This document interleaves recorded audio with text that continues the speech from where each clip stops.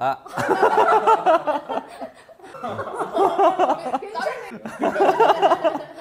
괜찮아요, 괜찮아. 뭔가 있어요, 어, 부담이.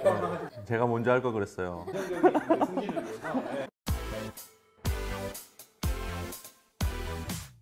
보시는 그, 그걸 보면요.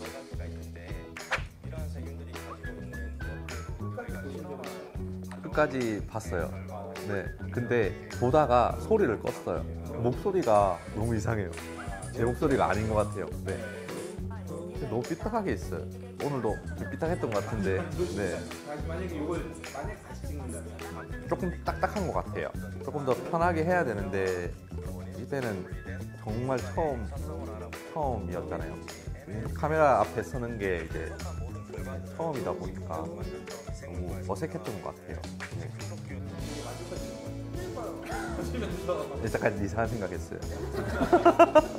이번에 설날 내려갔을 때 다들 한마디씩 하시더라고요. 네. 잘 봤다고.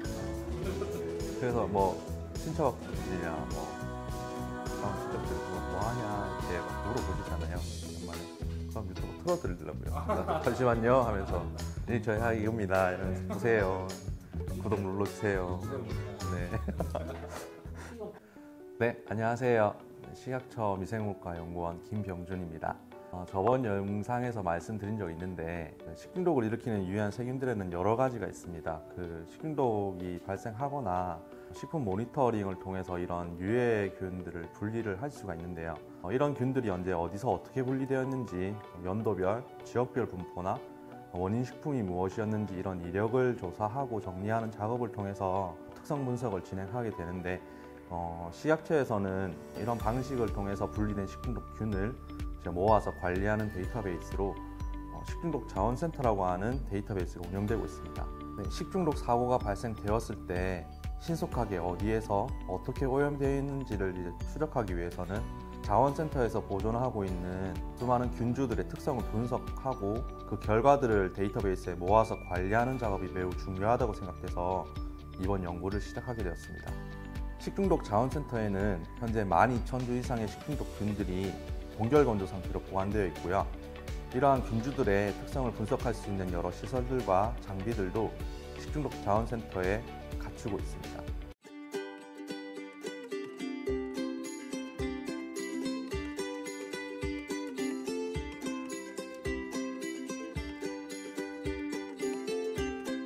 이번 연구 사업을 시작으로 이렇게 자원센터에서 보관된 균주들을 이용을 해서 식중독을 일으키는 균주들의 특성을 지속적으로 분석해 나가려고 합니다.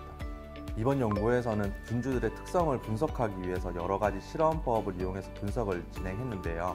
어, 간단히 말씀드리자면 세균이 가지고 있는 특정 병원성 유전자의 존재 유무를 판별하기 위해서 PCR 기법을 이용해서 특정 유전자를 증폭시켜서 확인도 하고 혈청형 분석을 통해서 세균이 가지는 항원 구조의 차이에 따라서 분류하는 작업도 진행을 했고요.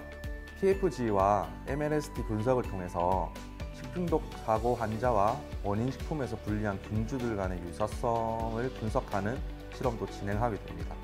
균주 선정 같은 경우는 국내에서나 외국에서 식중독을 많이 일으키는 위험한 균들을 대상을 정해서 연구 사업을 진행하게 됩니다.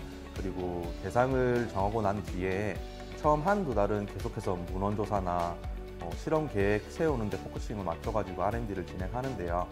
정확하게 실험해서 깨끗한 연구 결과를 만드는 것도 중요하지만 어, 연구를 시작하기 전에 이제 대상균을 분석하는 이제 선행 연구라든지 이제 보고서나 이제 논문을 찾아보고 이제 공부하면서 어, 이번 실험에 적용할 부분이나 뭐 참고할 만한 사항을 찾고 이런 기초 작업들이 연구를 진행하는 데 아주 중요한 기반이 됩니다.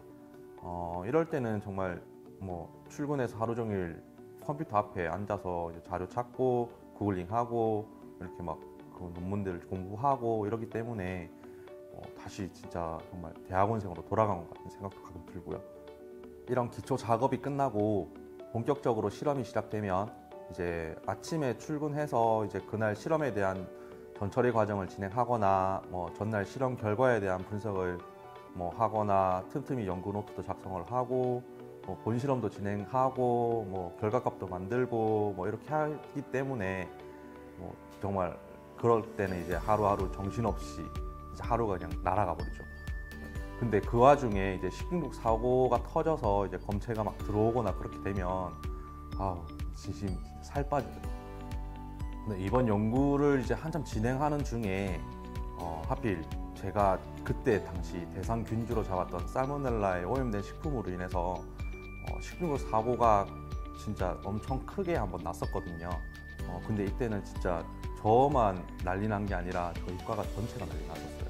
보통 식중독 같은 게 터지면 이제 저희 과는 거진 완전 다들 비상 상태가 되거든요. 왜냐하면 이제 식중독 원인 식품이나 뭐 식중독 의심 균주가 이제 한 번에 다 같이 들어오는 게 아니라 들어오고 들어오고 들어오고 이렇기 때문에 이제 그때 그때마다 이제 바로 바로 최대한 신속하게 정확하게 이제 검사를 진행을 해서 원인 균이나 뭐 원인 식품을 이제 빨리빨리 이제 밝혀내야 되기 때문에 그때는 이제 연구원들이랑 연구사 선생님들 모두 다 이제 평소에 원래 진행하고 있던 뭐 연구 사업이나 뭐 기본 사업 같은 거는 완전히 올스탑 시켜버리고 어, 지금 일어난 식중독 사고부터 먼저 처리하게 돼요. 그래서 이번에 크게 나타났던 식중독 사고는 전국적으로 이제 57개 학교에서 동시에 식중독이 발생해가지고 환자 수도 약한 2,000명 정도 넘는 이제 초대형 식중독 사고가 터져버려서 그것 때문에 진짜 할 일이 정말 많았어요.